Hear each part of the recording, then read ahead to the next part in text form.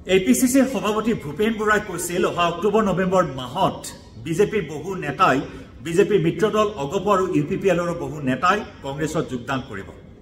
আৰু এই কথাত ভূপেন বৰাক উভতি ধৰি মন্ত্ৰী পীযুষ হাজৰিকাই কৈছিল যে অলপ ইচ্ছা কৰিলে কংগ্ৰেছ দল খালী কৰি দিম কংগ্ৰেছ দল একেবাৰেই নাইকিয়া কৰি দিম।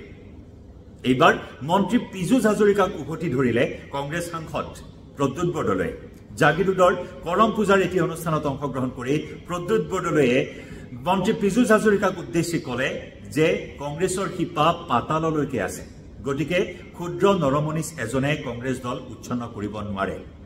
কংগ্ৰেছ মুক্ত ভাৰতৰ কথা কৈ থকা বিজেপিয়ে এতিয়া কংগ্ৰেছৰ আতংকত ভুগিছে। সমান্তৰালকৈ কমলাক্ষদেৱ পুৰকাষ্ঠ কংগ্ৰেছ বিধায়ক কমলাক্ষদেৱ পুৰকাষ্ঠ পীযুষ হাজৰিকাক কৈছে যে পীযুষ হাজৰিকাই কংগ্ৰেছৰ কথা চিন্তা কৰিব নালাগে নিজৰ বিভাগ চম্ভালক